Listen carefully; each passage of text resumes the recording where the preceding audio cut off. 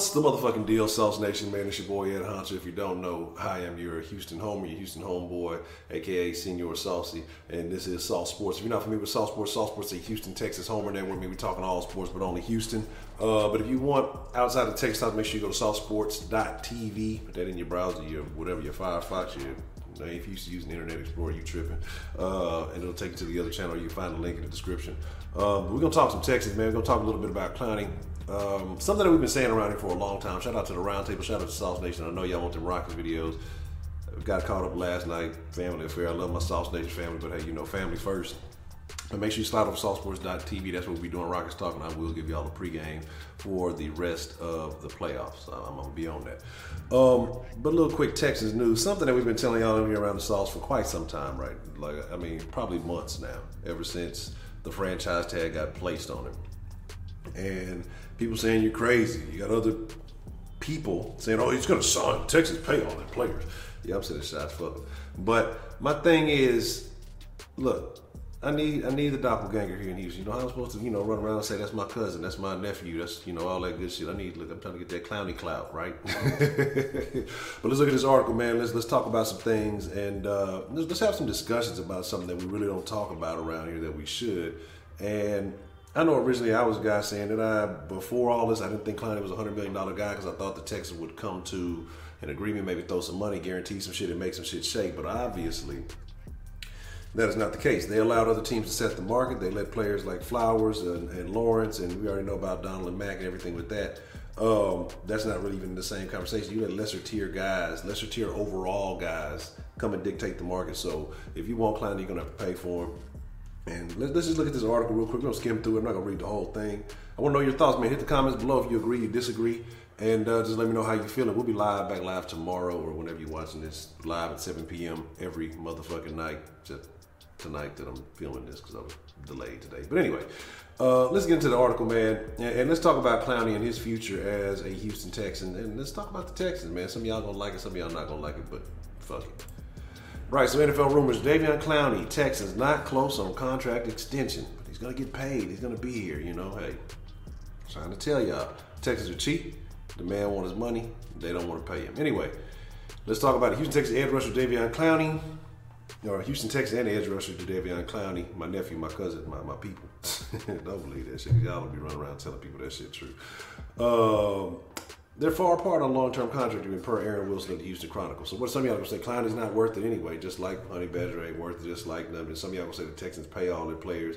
But we're gonna get further down into this, and, and we'll talk more about it. You know, it's, it's funny how whenever the Texans don't want to pay them, all of a sudden they're not worth it. But when they're here, everybody loves them. That's Y'all got to stop letting this this team dictate your thought process. The Texans placed franchise tag on Clowney, who amassed 21 quarterback hits, nine sacks last season. Five-year veteran has not signed his tender.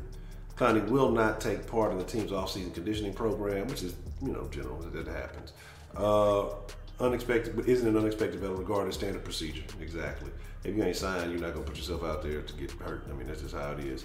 Uh, they have until July 15th to sign their tag players to long-term deals. If the deadline passes without contract, then uh, the tag player must take the field on his one-year tender. Um, can hypothetically hold out, which would be expensive, a little under nine and a half million, or nine and a half, nine and a half, nine hundred and fifty thousand dollars. A little under that. Let's just generalize, but it'd be nine hundred thirty-seven thousand two hundred thirty-five dollars. That's easy to say. This my English all fucked up today, right? Uh, Texas problems that were claiming Clowney won't be cheap. Over the cap founder Jason Fitzgerald uh, contributed a PFF article. Y'all know how we feel about PFF over here, but some of y'all regard it as the gospel. So stay tuned, right?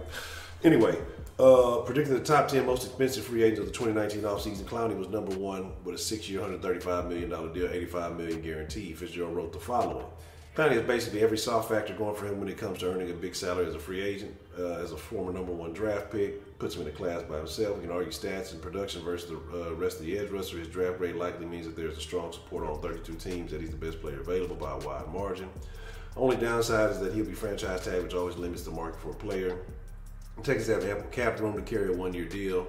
Uh, with a big cap number, won't be any rush to negotiate that contract. Still, at the end of the cycle, he should be one of the highest paid rushers in the NFL unless he decides to quickly sign a contract before the other players have an opportunity to set the market. Well, too late for that. Uh, still, Clowney could be worth it. PFF ranked him as the number two among edge rushers in defense, in, in run defense, and noted he steadily improved over the past few seasons. So we talk about the Texans, right? Let's talk about the Texans last year. They were terrible in giving up the pass, right? Terrible, but we love to brag and boast on. Well, they they were they had such a good run defense. They were great on the stop stopping the run. Who's the best run stopper on the fucking Texans? Think about it. Just think about it for two seconds. Don't even take. You already answered. I mean, the man we talked about. But yet, he's not worth it. He's not this. But y'all want to brag, Texans fans, on how great the Texans run defense was last year. Who's the best run stopper on that team? Hands down, it's not even close. Uh, it's not JJ. So, you know, it's cool, it's fine and dandy, but let's let's let's be legitimate. We always want to talk about well, Duke could replace him. How's Duke going to replace? Duke's not going to replace his run stopper. Maybe if they're using Duke legitimately as an outside rusher, and still they're not going to move him around. They're not going to freelance him like Clowney. So his numbers may look good as a pure outside rusher, but it's not the same. And so that's what you got to look at. You got to look at the nuances in this game, and, that's what people aren't doing, especially a lot of these Texans fans. They see numbers or just take the money or fuck that. Nobody's telling. Look, we're gonna get to that anyway. There's also evidence that Clowney is happy in Houston, wants to be here for, uh, want to be here for the rest of my career. Wilson, of course, I want to come back. I promise Texas, whoever else watching, I'm going to be a much better improved player next season. Have been thinking about a contract. If I come back and play like I know I'm going to, the contract will take care of itself. I'm working my craft, working my game. That's what I'm worried about.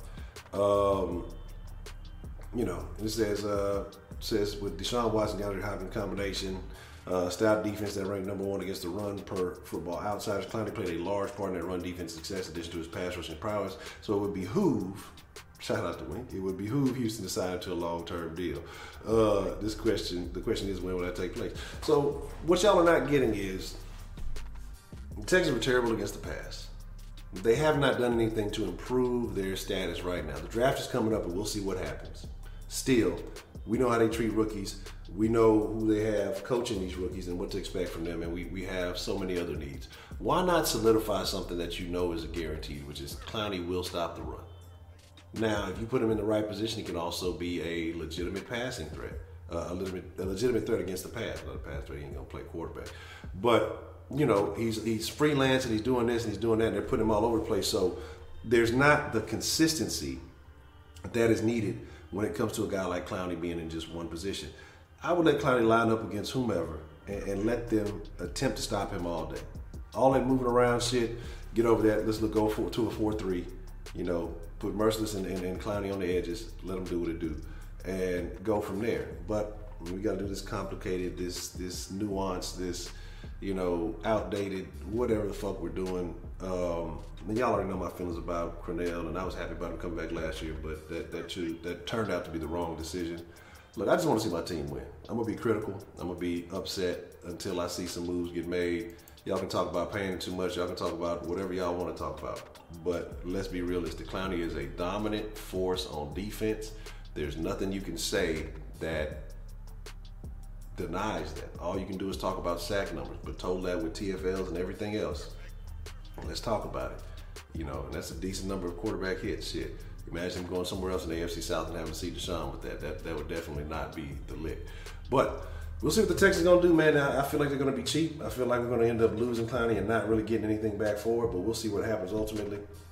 Hopefully, you know, they can work something out. But apparently, like they say, Aaron Wilson, the Houston Chronicle, saying they're not close. The Bleacher Report article is reiterating that, and this is something that we've been saying for quite some time. You know, regardless of what other hopeful, optimistic, overly zealous, joyous, whatever people may be saying, without any merit, without any proof. I mean, look, if, if Clowney was happy, he would have signed a tag. If he, if, you know, and then try to work out a deal, whatever else. Clowney wants a long term, long term deal, and the Texans ain't talking the shit that he wants to hear. And I ain't mad at him. This game ain't guaranteed for nothing. Get you some guaranteed money, solidify your status as a player. Uh, look, I love my team, and I, it is the Texans is why I became a fan, not because of Clowney, but hey, there's just certain guys that you know that you need to keep happy. You know, instead of trying to treat everything like a fucking business, sometimes you gotta you gotta work a deal. You know what I mean? So it is what it is. Man, look, like I said, we'll be live back tomorrow at 7 a.m. Appreciate you if you watched this far. You know, leave a like, thumbs up, comment, all that good shit. Um, I'll leave the link to this fucking article in the comment section so you can check it out for yourself. Uh, with that being said, hey man, it's your boy Ed Honcho. Thank you for watching.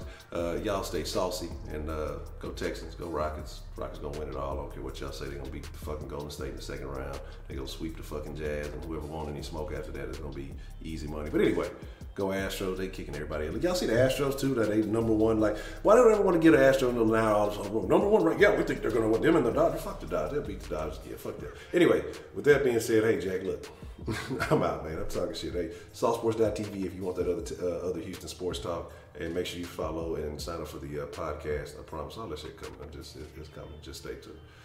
I'm out. I'm gone. I'm out. I'm done. For real. I'm done. Get, get the fuck out of here. Why you, come on, man. Stay saucy. I'm out.